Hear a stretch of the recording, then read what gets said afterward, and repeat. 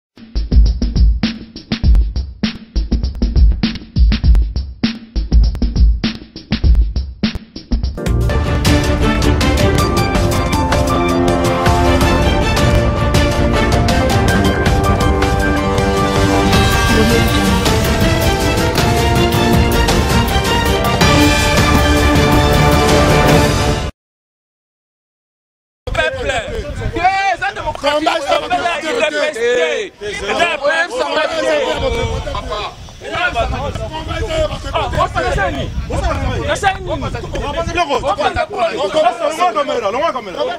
ngai ezali euh, john mandeko eh, moko ya ba combattant ya Afrique du Sud. Ok, merci. Mm. bon réaction na nga mpo na marche oyo esalamaki na congo nasepeli na baopposant nyonso tu bazalaki uni so naoloba baopposant euh, tomoni euh, eh, ba martin fayulu bakamere bamoïse ba félix eh, tshisekedi oyo bato baoloba bato ebele baoloba ke oyo oh, te marche alaki te eh, idps aparticipaki te mais towana banini oyo ezali awa ke soki na goma kuna na goma bato bamembre ya idps balaki mais omoni problème si toza nango awa nde toza na afrique du sud eloko nde tosenga epa bacombattant combat ezala nanu ya udps te baparti nyonso surtout baa na udps baa na combat omoni kobimisaka udps liboso udps liboso yango wana combat elali na afrique du sud lelo oyo nde toza awa kofinga eza mabe bozofinga baopposant balider ya baparti mosusu me ye moko félix tshisekedi alobaki ke botika kofinga baninga me bino soit disant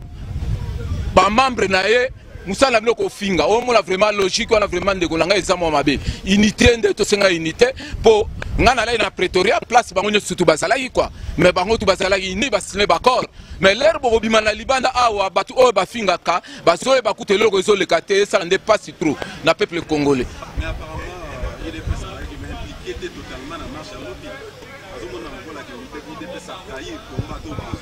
te mpo na ngai nakoki koloba te ke idps atrahir kua mpo ngai nazalaki na pretoria nde nayalai na pretoria namoni basignature nyonso tout oyo idps basignaki kua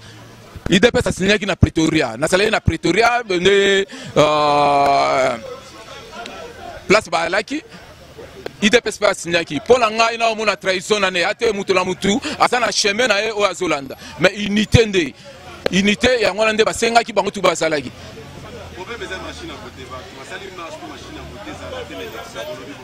bon bato basali marche mpo na machine à voter bon ngai na omona yango eza logique kua ebandi lelo te ezalaki déjà banda kala ozomona na kasa bamarche tout tosalaka awa partout oke ata na europe partout na afrique du sud to na monde mobimba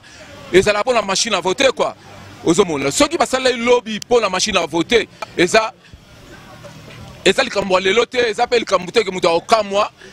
mpo deja na ambassade ya corée biso tozala na ambassade ya corée tokende na ambassade ya corée omona nde nini tokende kodepose memo mpo na machine ya vote ozomona mais signature oyo omoni bato omoni na base awa bato bayeba likambo ya koloba te mais bango nyonso tu baopposant bazalaki awa na pretoria basinyaki bango tu bazalaki basinyaki me koyokana bayokani na bapoint nyonso tu ah, na machine na vote mpe eza na kati ozomona machine ya vote mpe eza na kati me soki oye na awa oye na base awa bazoloba makambo aoloba makambo mosusu ozomona omona bango tu basigne epa félix félix moto asignaki claude euh, claude kibalan conseiller na ye euh, deux personnes basoki deux personnes deux personnes ozomona nde esali ah, problème nde sango wana yango eloko naza koloba naza koloba kombo tobandaki komba nde tobandaki komba tobanda komba ezalaki radio bendele tolobaki ke makambo ya parti politique totya yango pembeni tolanda nanu makambo ya kikombatant toyeba ndeni tokolibere mboka na biso mais toza nde toza awa na afrique du sud eza kutu ya kobomba te ezalaka na tendance mosusu tendance ya baparti politike oyo wana kutu moto okoki oloba te me eza bongo elo nini na bomba eloko naza kobomba omo oh, ozomona bon yo koloba ngai na lelo ngai naza moto ya mlc ngai naza moto ya mlc yo koyebisa ngai likambo te ngai na moto ya mlc yo sikoyo koloba nini yo oloba ngai na moto ya mlc ngai na moto ya mlc me moto ya idps akoya koloba na ngai te oyoki na kasi okomprendre comme na oloba alors tozalaka ya kokabwana eza kobombana te eza ya kokabwana ya tendance ya tribalisme ona olobon claire ntango na nino ya club tuna john image aya moluba naoloba wana okashe te tuna john image nasala émission oyo napaka feli ça fait 5 ans mpo amonaki ke déjà komba eke na tendance mabe tosala yango mais aboya kobimisa yango ngambo nayebisaki eke nde stope yango komba eza na tribalisme eloko nakoloba yango claire oh, mais yo oyebi ebandi kutu banda kala depuis ya liau yo sikoyo yo oloba ngo lelo oloba ngo lelo te alors papa toza awa eza kutu ya kobomba te eza problème ya tribalisme komba eza idps te komba eza bakasayen te eloko tokoloba yango wana ndakasa omoni baémission esali ozofinga balider mosusu me ngai nakofinga te wana ya jare na ngai te nazwa nafinga bato nakofinga bato te Na o comprendre nde eza na kofinga te. Na ofinga mpo nani? Sokoro, hmm. oza moko ba combattant awa. So message nini okopesa na ba Congolais ba wana na minute oyo? Bon, mpo mpo na ngai na Afrique du Sud, surtout toya na Afrique du Sud, problème tosenga unité. Ozo comprendre? Eza unité nde tosengaka. Omoni likambo komba oyo mpo na tozwa temps te, so tozwi temps vraiment. Nayebi so ba makambo mosusu okamwa. mais mpo bolingo nde ya congo tokolaka na yango yango wana totikala kaka na komba ozomona mpo bolingo nde ya congo mpo partout bakobimisa okolola bo mais oyo bango basala ya kolola bo te na kasi oyebi yango yo ozala awa na afrique du sud awa na jobour oyebi yango kasai azalaka muluba eh, eh, eh, jamais azalaka kolabo mais kolabo ezalaka bikolo mosusu yango omoni bamakambo oyo esalama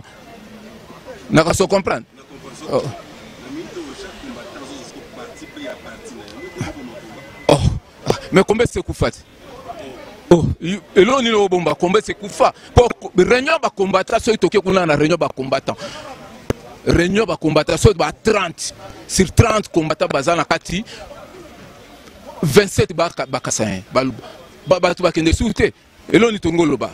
koloba te ke toloba yango mpo na defendre nino na bomba na oloba nde claire likambo na oloba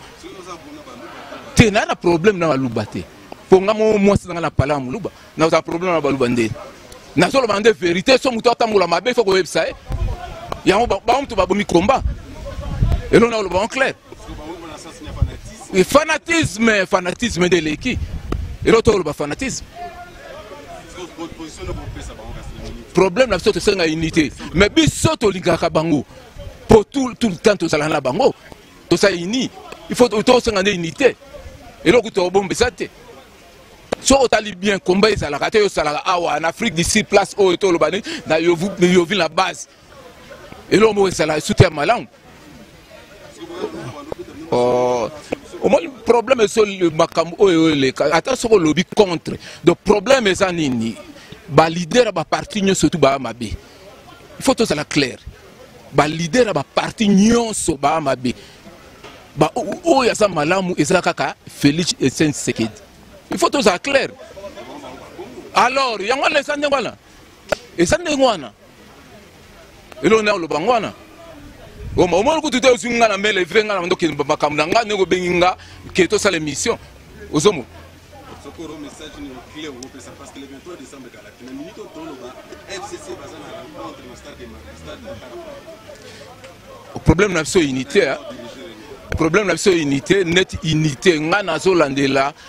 ba euh, ba leader nde bazali na pretoria baosenga unité motu nyonso to azali ata félix euh, félix nde bango baoloba omoni bamisusu baoloba baocomprendre te balandaka makambo ya président na bango te baloba oyo oyo etali bango eyeli bango na motu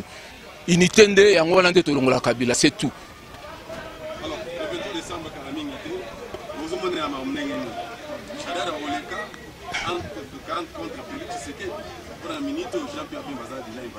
hmm.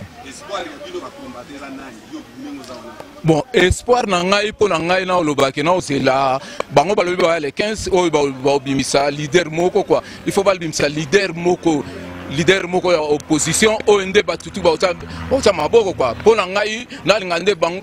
congolais tu atelema apona leader oyo ke tokotya ye mpo